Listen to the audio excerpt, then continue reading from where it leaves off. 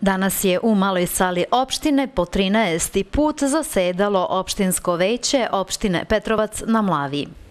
Poštovani građani, poštovani gledoci i slušalci, preko i minut završena je sednica opštinskog veća opštine Petrovac na Mlavi. E, na dnevnom redu je bilo nekih 15 tačaka, ja neću sve da komentarišem, samo ću neke da prokomentarišem. Recimo, prva tačka je bila razmatranje predloga plana nabavke opštinske uprave opštine Petrovac na Mlavi za 2013. godinu.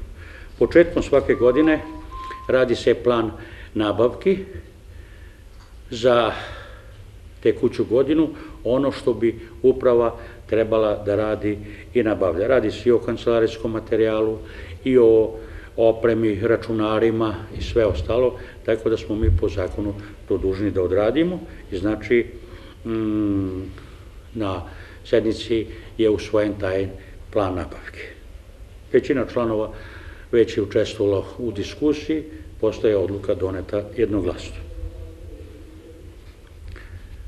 Zatim, jedna od ovako interesantnih tačaka dnevnog reda je razmatranja predloga zaključka o određivanju trajanja zakupa montažno-demontažnih objekata i vremenskog perioda za zaključenje ugovora. U samom gradu e, opštinsko veće je dalo u zakup e, za montažno-demontažne objekte određenim vlasnicima i e, oni su svake godine dužni da obnove ugovor.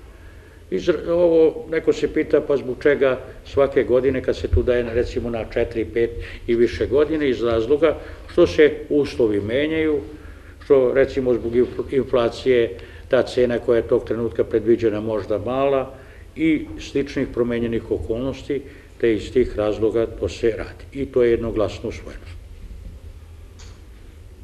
Zatim, šta je veoma interesantna tačka, To je razmatranje zaključu isplati tekuće budžetske rezerve po zahtevu javnog e, komunalnog preduzeća Parking Service Petrovac na Mlavi za nabavku potrebne opreme. E, ta investicija preduzeća košta nekih 900 nešto hiljade dinara, oni ne su imali dovoljno sredstava i iz budžeta im se pomaže da se odradi, a radi se u uvođenju, znači, nove tehnike, znači parkiranja i plaćanja parkinga putem SMS E, poruka.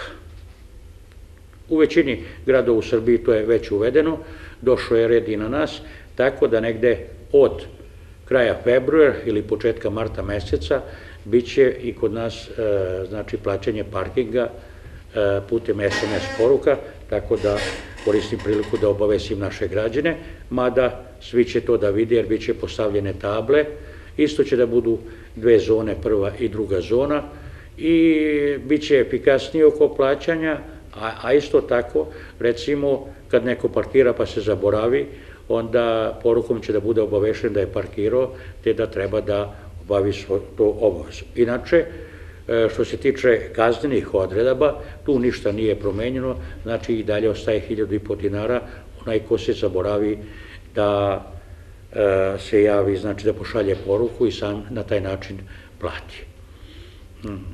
Ja mogu da vam kažem da s formiranjem tog preduzeća, parking servisa, postignuti su oni efekti koje smo želili, a u prvom redu red u parkiranju, jer znamo ranije da nekad ovde u glavnoj ulici, posebno u delu od raskrsce Bate Bulića i glavne ulice, pa do bioskopa je bilo da se trebalo čekati po 15 minuta, jer neko se poprečio ovako, neko onako, mada i sad ima nekih nesavesnih vozača koji, pored koso parkiranih vozila, e, stanu iza njih, tako da teško može da se prođe, ali to je mnogo manje. Zatim imamo zmaten dopune spiska podnetih zahtjeva za plaćanje internata u poljoprivrednoj školi u Požarcu. Svake godine opština plaća za lica, odnosno učenike koje su slabijeg materijalnog stanja, a dobro je učenici, internat u školama gde one postoje. Ovde se konkretno radi o poljoprivrednoj školi u Požacu.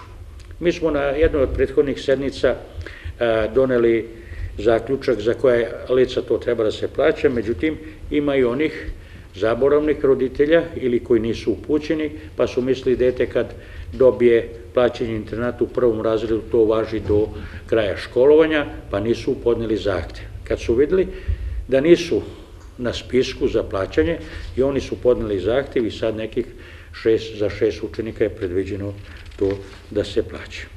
Imamo tako isto razmatranje predloga zaključka o određivanju nadležnih lica doktora medicine za utvrđivanje vremena i uzroka smrti, takozvano mrtvozorstvo.